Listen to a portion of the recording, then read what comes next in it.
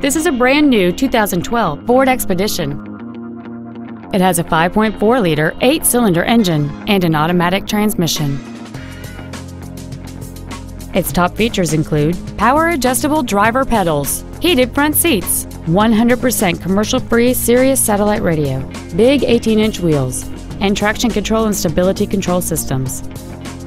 The following features are also included memory settings for the driver's seat's positions, so you can recall your favorite position with the push of one button, air conditioning, cruise control, a seven speaker audio system, leather seats, a trailer hitch receiver, running boards, an anti lock braking system, an auto dimming rearview mirror, and the power rear liftgate can open and close at the push of a button. Contact us today to schedule your opportunity to see this automobile in person.